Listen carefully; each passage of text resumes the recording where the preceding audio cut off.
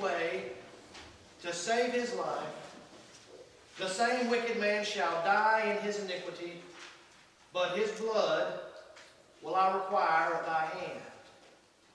Yet if thou warn the wicked, and he turneth not from his wicked way, nor from his wickedness, then he shall die in his iniquity, but thou hast delivered thy soul. Ezekiel chapter 3, verses 17 through 19. Good morning. Welcome. We are so glad that you're here with us this morning at the Church of Christ in Freeport, Florida. You're our honored guest. If you are a visitor here, we appreciate you so very much. We hope that uh, you will enjoy this lesson. We pray that it will be something needed to be heard. It may not be what you want to hear, but that's okay. Uh, it might be what you need to hear. Uh, and so I hope that, that it's beneficial to you. I also hope that you'll prove me on every word that I say. I hope you've already turned to Ezekiel 3, and I hope that you've proven to make sure that was the word spoken by the inspired prophet, and I hope that you'll do so in this lesson. Why don't you open your Bibles and prove every word that I say, for John would say, Beloved, believe not every spirit, but try the spirits whether they be of God.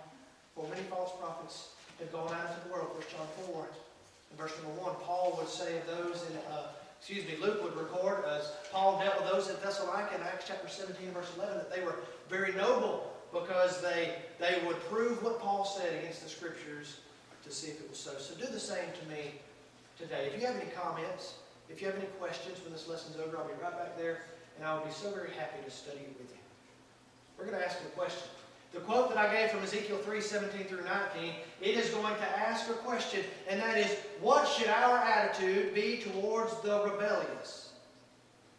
Now, we understand that the rebellious to be those who did not subject themselves to God. Brother Jerry mentioned in the class this morning in James chapter 4, we are to submit ourselves unto God and resist the devil.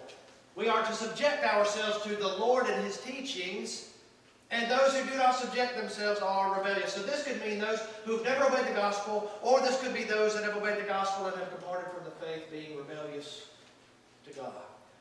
What should our attitude be towards them? Isn't this something that we deal with every day? Isn't this something that we deal with in our physical families? Isn't this something that we deal with in our workplace and in our uh, walks of life? Don't we come in contact with those who are rebellious to God? We do. What should our attitude be? So often we understand that sincere people do things that they should not. They have good intentions, but actually they wind up doing things that hurt. And we'll get to that point in, in just a few moments. This lesson we'll look at our attitude, though, and what it should be, what we should do, and what we should not do.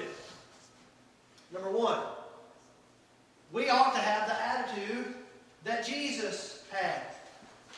In Luke 19 verse 10 it says, For the Son of Man has come to seek and save that which is, is lost. We ought to have the same attitude he did towards them. I'm going to keep speaking while I adjust something here, so just bear with me.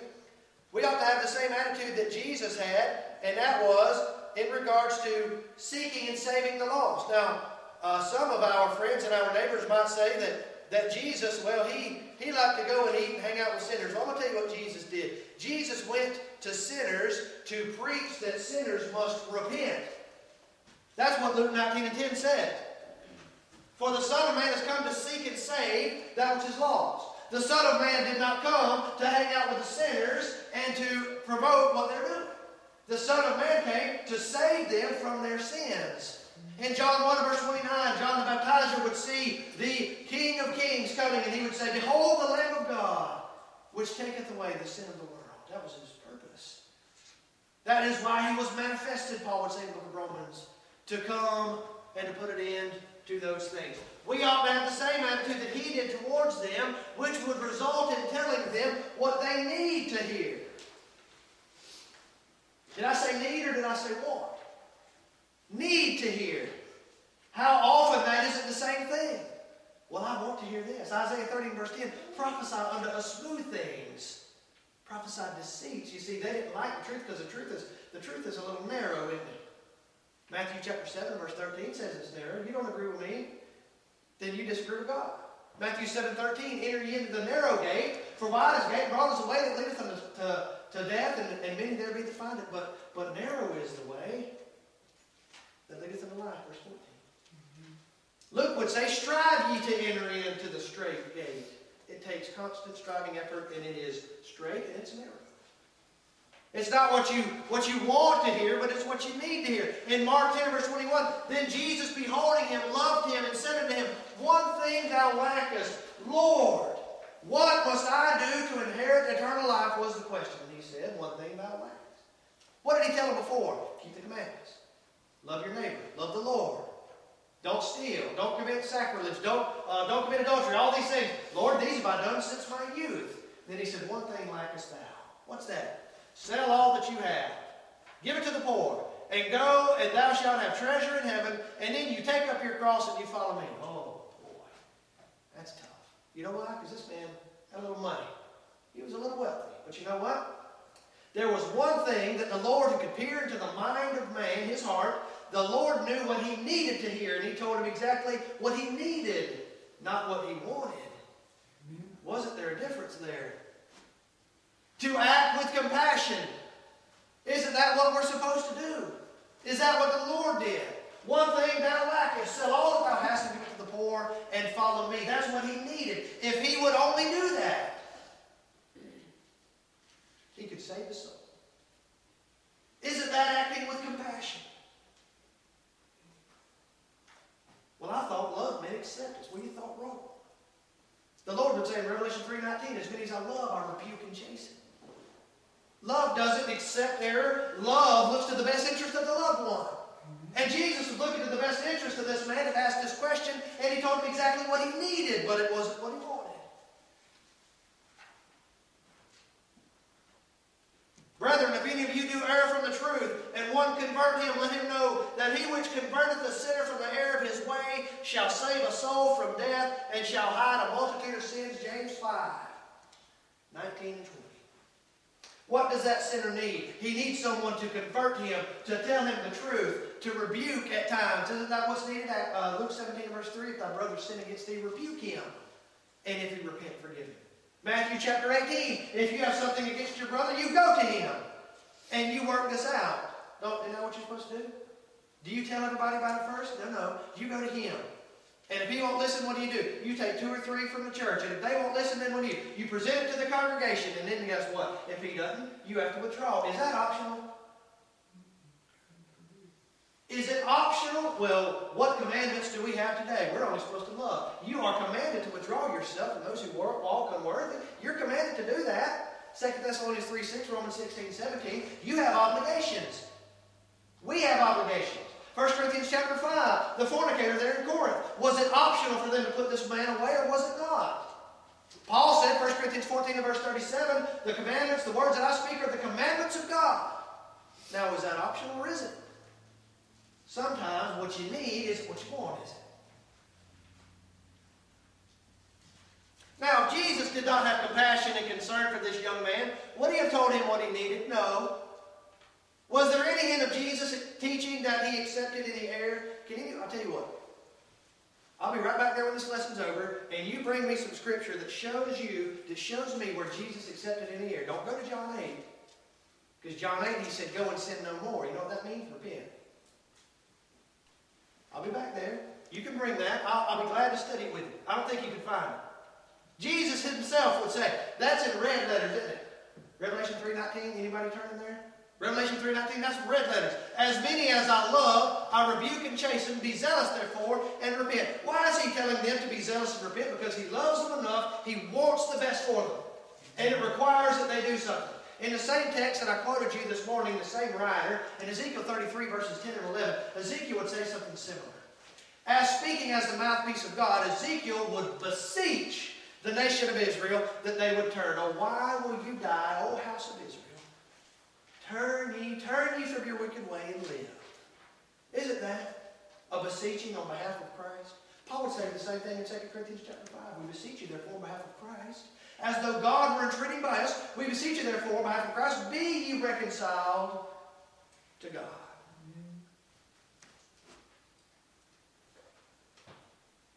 Did Jesus ever compromise? You know, do you know that Jesus was the most controversial figure to ever walk this earth? Did you know that? Oh, Jesus. Oh, no, he wasn't. All he did was he just loved and accepted. You don't know what you're talking about. He did no such thing. He loved, but love doesn't accept. Jesus Christ was controversial. Do you know that Jesus taught that it was his way or else? John 14 verse 6. I am the way, the truth, and the life, and no man comes unto the Father except by me. Do you know that Jesus taught repentance or death? Luke 13, 3 and 5. Do you know that? Do you know that he said, Therefore unto you, that you shall die in your sins, for if you believe not that I am he. Now, if that is an exclusive, what is it? Jesus never.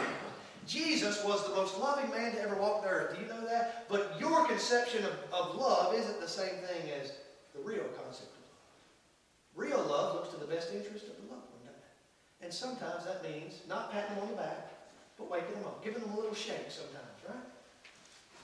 What attitude ought we to have? The attitude of Jesus was one that hated evil and loved good. We're studying Hebrews on Sunday evenings, aren't we? Verse 8 says, But under the sun he saith, Thy throne, O God, is forever and ever. A scepter of righteousness is the scepter of thy kingdom. For thou hast loved righteousness. There's another word there, and. You know what and does? And connects that thought to this thought. You've loved righteousness and you hated iniquity. Well, 1 John 4 says, God is love. It's true. Verses 9 and 10, God is love. Not that we love God, but that He loved us and gave His Son to be a propitiation for, for our sins. Yes, God is love, but God is also capable of hate. Amos chapter 5, He hated their sacrifices because they polluted themselves with sin. Psalm 119 and verse number 104 says, Through thy precepts I get understanding, therefore I hate every false way. Jesus Christ loved righteousness. Jesus Christ hated iniquity. True or false? Read it for yourself. That's true. What was the attitude of Jesus? He hated evil. Now let's make a distinction here. That doesn't mean that he hated people that did evil. He hated evil. He knew the result. James 1. James 1, 12 and following says that when a man gives in to temptation, that temptation brings forth sin. And then that sin brings forth that D word. Death. Hmm. Jesus understood the nature of sin and he despised it. He hated it because men who committed sin would forever be lost. That's why he hated it. Is it okay for us to hate sin? You bet it is. We better hate sin. This should be our attitude as well. Let love be without dissimulation. Abhor. Ooh, that's a big word, isn't it? Abhor. It's detestable to me. I hate sin. But you're to cleave unto that which is good. You know, in Romans 12, the context is dealing with members of the body of Christ. You are to love the good. And when they involve themselves with sin, you are to hate it to such a degree as you go to this brother and you try to help him get out of this situation. Read it for yourself and tell me I'm wrong. We studied it pretty thoroughly, didn't we? Jesus never accepted the actions of sinful people. True or false? True. What did he do? He corrected them. There's John 8. Remember I said that one? The woman taken in adultery. Well, Jesus said that uh, did President Obama say that Jesus said you're not supposed to cast stones in a glass house? That's not what Jesus said. You know what he said? He said, let you without sin cast the first stone. You know what he was doing? He was showing that they were hypocrites in the first place. They had taken this woman in adultery. How many does it take for adultery? Can't do it with just one. But they got the woman, right? Caught the very act. Well, where was the man? But they got the woman and they brought her to Jesus and said, Well, Moses said she should be stoned, but what sayest thou? He knew what they were doing. What's he going to do? He's going to turn it right back around on them. I'll tell you what, whichever one of you doesn't have any sin, you cast it first. He knew that they had done it for a hypocritical reason. They weren't serious. Now notice this. When Jesus lifted himself up and saw none but the woman, he said to her, Woman, where are thine accusers? Hath no man condemned thee? She said, No man, Lord. And he said unto her, Neither do I condemn thee. Let's just stop there because that's what everybody else does. But what saith the scripture, Romans 4 3? Psalm 119 and verse uh, number 189. Forever, O Lord, thy word is, is settled in heaven. Aren't we supposed to see what all of it says? Psalm 119 verse number 160 says, The sum of thy word is true. So, so why don't we stop there? Let's keep going. But go and sin no more. How often we don't hear that from our denominational friends. Well, Jesus didn't condemn the adulterous woman, so that means it's okay if you commit, if you commit adultery. That's absurd. Jesus said, you go and don't do it anymore. Don't sin anymore. What is, what is the concept of repentance, if not a changed mind? Do you know that literally speaking, repentance is a change in mind? Matthew 21, verse 28. There is an individual who has two sons. And he tells his son to go work in the vineyard. And the younger says, I will not. But he repents. And he goes. What's he done? He's changed his mind. In Acts chapter 2 and verse number 38, it says, Repent and be baptized, every one of you, in the name of Jesus Christ. You see, they had, they had understood Jesus as being an impostor. He's talking to the Jews at the Pentecost. Some of these there were, were complicit in the, the crucifixion of Jesus. And he tells them, You are to change your mind about this. You repent, change your mind, and you're baptized for remission of sins. Now, repentance includes something else, doesn't it? Repentance demands reformation of life. Acts 26 and verse 20, that you should repent, turn to God, and do works worthy of repentance. If I change my mind, am I going to do works worthy? If I was a thief, a, a, a drinker, um, uh, I said ugly words, I was just an overall really bad guy, all right, well, I changed my mind about that, but I'm going to make no effort whatsoever to clean that up. You think I'm really changed? If I change my mind, I'm going to do everything in my power to undo the harm that I've done. That is a changed mind, manifested in changed what? Actions. Isn't that easy? We ought also to have the attitude of compassion towards the lost, knowing what awaits those that die in such condition. In Matthew 25, the Lord would say, regarding those on his right and left. Right hand's the sheep, right? Left hand's the goats. Right hand, eternal life. Left hand, depart from me, you wicked, into everlasting destruction. Prayer for the devil and his angels. We know that that awaits the lost, and we don't want that, do we? Well, let me ask you a question. Are you going to reach out and help the lost by patting them on the back in their error, or are you going to help the lost by actually correcting the error that they're engaged in? It's a simple question. You don't have to answer out loud. You know the answer. We should seek and save these folks with the gospel. Did you know that there's only one way that a man can be saved today? Is anybody in here today been told that you can be saved by saying a prayer? You don't have to raise your hand. You were lied to. Listen to this. For I am not ashamed of the gospel of Christ, for it is the, the, the, the power of God unto salvation unto all those who believe, to the Jew first and also to the Greek. That's Romans 1.16.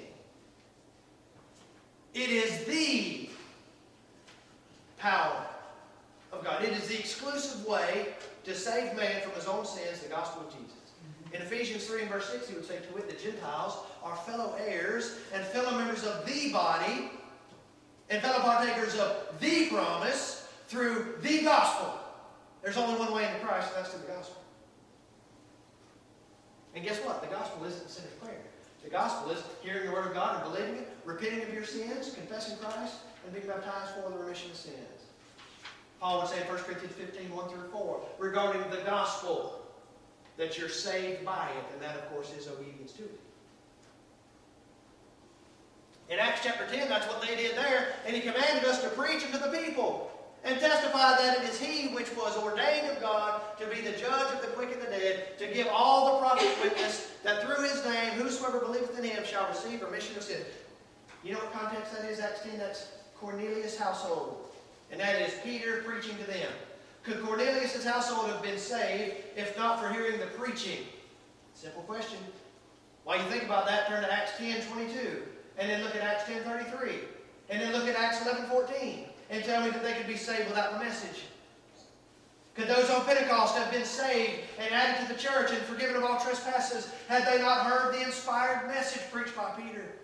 Simple question. The gospel is God's power to save.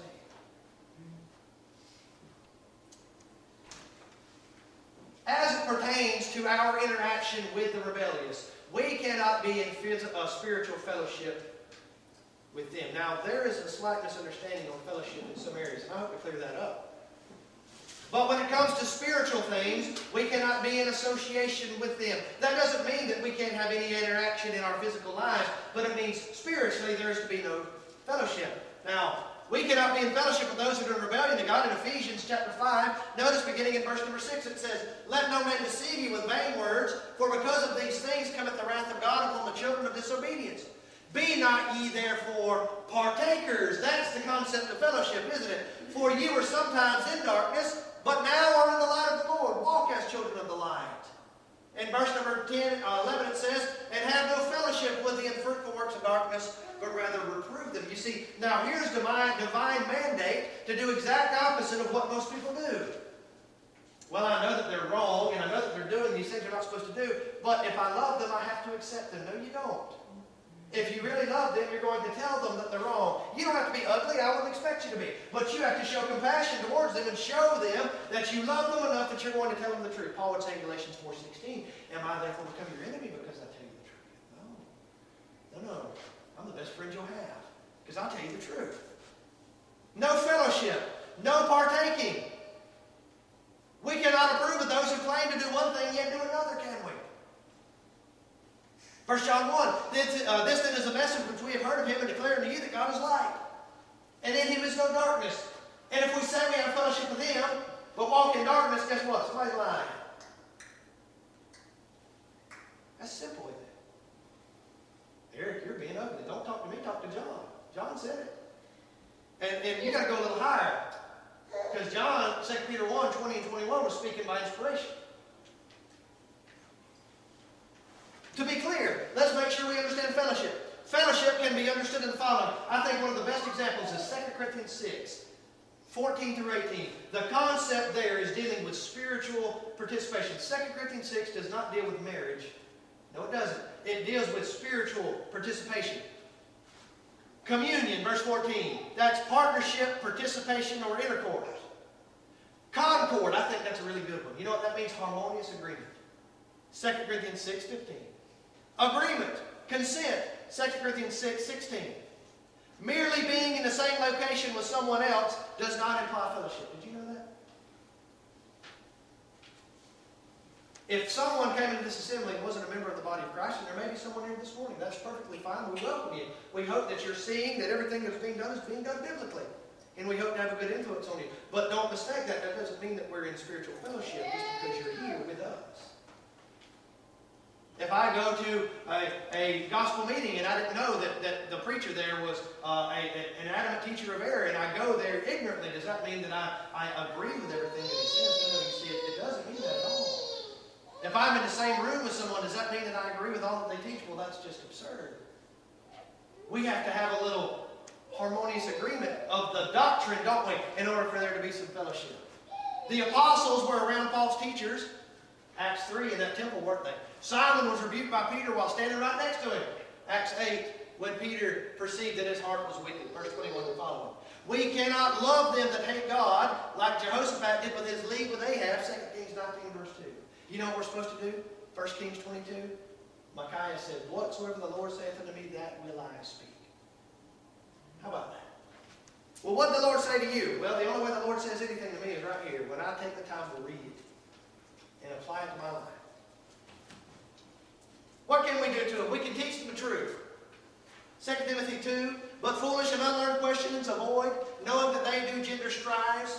And the servant of the Lord must not strive, but he must be gentle unto all men, apt to teach, patience, in meekness, instructing or correcting those that oppose themselves. If God peradventure will give them repentance to the acknowledging of the truth, and they that may recover themselves out of the snare of the devil, who are taken captive by him at his will we ought to be meek enough to understand that we're not above reproach. We're not above falling into condemnation either. And that ought to play a part in that. We ought to be meek enough that we're always submitting ourselves to God. And that includes doing this. That includes going to your brethren that are in error and you trying to help them. But we can't compromise truth, can we? Well, you know what? If we, uh, if we added the musical instrument, or if we preached that once saved, always saved is true. We could probably fill these pews. Well, guess what? Nobody's trying to fill these pews. We're trying to preach truth. We want to sow the seed faithfully, and we want God to give the increase. We're not going to compromise that. And shame on any who would. Rather, we must look to their best interest. Ephesians 4.15. Anybody know that one? But speaking the truth in love, right? Love is the motive, isn't it? Sure it is. 1 Corinthians 5, in the name of the Lord Jesus Christ, when you're gathered together in my spirit with the power of our Lord, to deliver such a one unto Satan for the destruction of the flesh. Don't you know that a little leaven leavens the whole lump? Fornicator in Corinth in that congregation, patting him on the back, hey, nothing's going on. It's, it's perfectly fine. No, it's not. You can't have this man among you. You ever read Joshua chapter 7? Joshua chapter 7, after the destruction of Jericho, the, the nation of Israel is going to go against Ai, right? Ai. They're going to go against Ai. And they said, we'll just send a few thousand because uh, that's all we need. Guess what? They got beat down, didn't they? You know why? Because old Achan, when he, they destroyed Jericho, Achan took some, some stuff that was devoted to God. He took some of that stuff, and he was with it was with him. He buried it under his tent. And God said, I will not be with this nation until they put this wicked man away. Well, guess what? What's the difference? What's the difference? Was God pleased with the congregation in Corinth as long as they had this fornicator among them? Don't you shake your head yes, because he wasn't. Otherwise, why was there instructions given to, to rebuke them? What's the concept here? The concept is you are to correct if you love. If you love God, you're going to do what He tells you. If you love your fellow man, you're going to correct him. You are looking for his best interest. We can't support error, can we? We can't support error spiritually or financially. Did you know that? What about the Salvation Army? I'm not going to ask you to raise your hand if you donate. If you have donated, I hope that you don't anymore after you realize this. You know the Salvation Army is a denominational group, that they are religious and spiritual in nature. Did you know that? The Salvation Army. Yep, all those people ringing the bell outside of, of, of Walmart when they ask you for a donation, taking an opportunity. to Say, well, here's why I can't give to you. What's wrong with that? It's an opportunity to talk to them. These folks do things that help the physical people. Absolutely they do. They, they do. they do good stuff as far as that goes. Yes. Yet they're a religious institution and consider themselves part of the universal Christian church, whatever that's supposed to mean. Number one, they have 11 articles of faith that are obviously denominational, citing total depravity, being a universal problem for man. That's number five on the website. They blame the sin of Adam rather than the sins of each man. But, but James would say, Blessed is a man that endures temptation, for when he's tried, he shall receive the crown of life.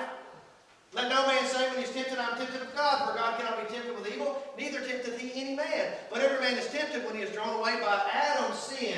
Y'all can read that. That says his own lust. Is there a difference? You bet there's a difference. Big difference. Considering the fact that they're a religious institution and they teach religious error, can you support them monetarily? Well, wait a minute. If you go to Walmart or if you go to the gas station, then you're supposed to know. You know that's not the same thing because Walmart isn't a religious institution. The gas station isn't a religious institution. There's a difference, isn't there? There's a difference between association physically than association spiritually.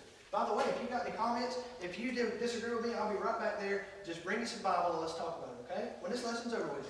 Whosoever transgresseth and abideth not in the doctrine of Christ has not God. He that abideth in the doctrine of Christ, he hath both the Father and the Son. Listen to this. If there come any unto you, and bring not this doctrine, receive him not into your house, neither bid him Godspeed. Are you bidding him Godspeed by dropping a dollar in the, the salvation bucket? You bet. Yes, you are. For he that biddeth them Godspeed is partaker of his evil deeds. Oh, that's talking about spiritual things, isn't it? You can't spiritually support the wicked. The institution was created by man to preach the gospel of Christ and meet human needs in his name. That's the, the, the Salvation Army. That's what they say. They have a page dedicated to music ministries. Oh, isn't that wonderful? Because I bet it sounds really good. They like it. Well, guess what? God didn't ask them for it. They claim to bring glory to God, yet act contrary to the authority he gave. How can you glorify God? Jesus asked a question, Luke 6 46. And why call you me Lord, Lord? Why do you say that I am your Lord if you don't do what I tell you to do? And whatsoever you do in word or deed, do all in the name of the Lord, giving thanks to God the Father by him. Whatsoever you do in word or deed, do all in the name of the Lord. Acts 4 7. The name of the Lord means the authority of the Lord. Everything you do, you do by his authority or you don't do it. That's simple. Now let's notice why it was wrong to do so. Do we need a man-made organization to preach the gospel of Christ and to meet the needs of the human being? No. You know why? Because Jesus Christ created the church for, few, for three reasons. You want to know those? Evangelism, Edification. Benevolence. That pretty much covers everything, doesn't it? That covers everything that this man-made organization was created to do. You know what? The church has already got some responsibilities. It is made up of the saved, Acts 2.47. It was created to preach the gospel, Mark 16, 15, 16. It was created to edify the saved, Hebrews 10, 24, 25. And it was created to help the needy, Galatians sixteen. Now, what room is there for the man-made institution to sit there right beside? There is none. Why should we need a man-made institution to do the work that the church is supposed to be doing? Should we support such an institution financially and help them spread their religious error? Should we fellowship these false teachers and imply that we approve of them? Now I beseech you, brethren, mark them which cause divisions and offenses, contrary to the singular doctrine which ye have learned, and avoid them. For they are such that serve not our Lord, but their own belly, and by good works and fair speeches deceive the hearts of the simple.